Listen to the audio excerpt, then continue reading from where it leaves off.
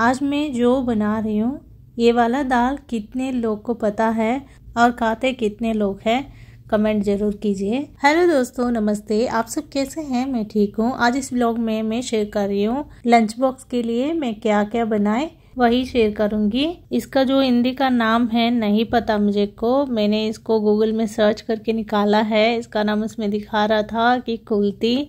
कि सही है कि नहीं, आप अपना स्टेट में, अपना जगह पे आप क्या बोलते हैं, इसको ज़रूर बताइएगा। तो और मैं कुल्ती को पहले दिन ही पानी में फुला के रख दी थी, उसको मैं कुकर में चढ़ा दी। कम से कम चार से लेके आठ सीटी लगता है ये पकने में। उसको तो चूल्हा पे चढ़ा दिया है। उसके बाद मैं यहाँ भिंडी काटने लगी।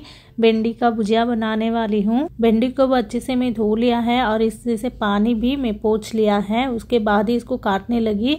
इस तरह से सारा मैं काट लिया है। लंबा लंबा काट कर भी भुजिया बनाते हैं, पर उसका अंदर कीड़ा भी रहता है, वो पता नहीं चलता है। इसलिए मैं छोटा ही काटती हूँ। इसी का बीच में सीटी भी आने लगा है। ये जो दाल है, बहुत दिनों से मेरे पास पड़ा हुआ था। ये हेल्थ के लिए अच्छा होता है, इसलिए मैं निकाल कर आज बना लिया है। इस तरह से सारा भिंडी कट करने के बाद मैं जो कचरा रहता है, वो सब हटा दिया है।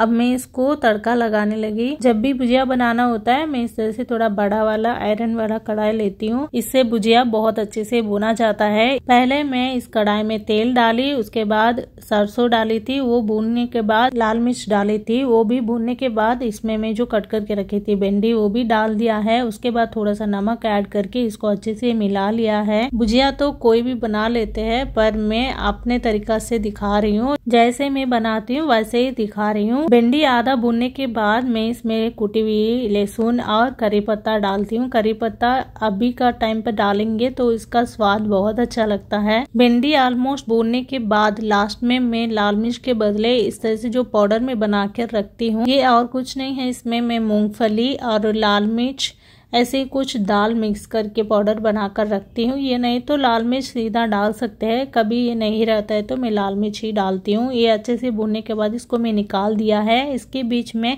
कुकर भी आठ सीटी आ चुका है। उसके बाद इसका प्रेशर भी कम हो गया है। दाल भी अच्छे से पक चुका है। इसमें से मैं पानी हटा दूँगी। उसके बाद थोड़ा सा दाल को मिक्सी जार में डालकर अच्छे से मैं पीस लूँगी। पीसने के बाद इसको इस दाल का पानी में डालकर मिलाऊँगी और इसमें इमली भी डालना होता है। इसके लिए मैं पहले ही इमली को पानी में भिगो कर रखी थी। उसको इस तरह से पल्प निकाल कर उसी में ही डालूँगी। उसके बाद इसमें थोड़ा सा गुड़ भी डालना होता है, वो भी मैं पहले ही डाल चुकी हूँ। अब इसको तड़का बनाना होता है। इसके लिए मैं यहाँ तेल गरम कर लिया है। उसके बाद इसमें मैं डाली हूँ सरसों और जीरा। जीरा के बाद काली मिर्च। जीरा और काली मिर्च को कूट के डाली थी। उसके बाद लाल मिर्च। ये सब अच्छे से भूनने के बाद इसमें मैं डाली हूँ प्याज, लहसुन, हरी मिर्च, करी पत्ता। ये सब डालकर अच्छे से भूनने के बाद इसमें मैं डाली हूँ हींग। ये भी भूनने के बाद इसमें जो मिक्स करके रखी थी, दाल वाला पानी, वो इसमें डाल दूँगी। उसके बाद थोड़ा सा नमक भी ऐड कर लिया है। इसको अच्छे से उबालने देना है। एक्चुअली इसको ज़्यादा गाढ़ा बनाते हैं, पर मैं इसको पतला ही बनाई हूँ। आप अगर बनाना चाहती तो इस दाल को आप इसको गाढ़ा बनाने के लिए और थोड़ा ज़्यादा दाल को पीस कर इसमें डालेंगे तो ये अच्छे से गाढ़ा बन जाता है। इस तरह से मैं उबालने के बाद थोड़ा सा धनिया पत्ता डालकर चूल्हा बंद कर लिया है। अब अब मैं लंच बॉक्स पैक कर लूँगी। इस तरह से आपको ये वीडियो कैसा लगा है? अगर आपको ये ब्लॉग अच्छा लगा तो ज़रूर लाइक कीजिए, ज़्यादा से ज़्यादा शेयर कीजिए।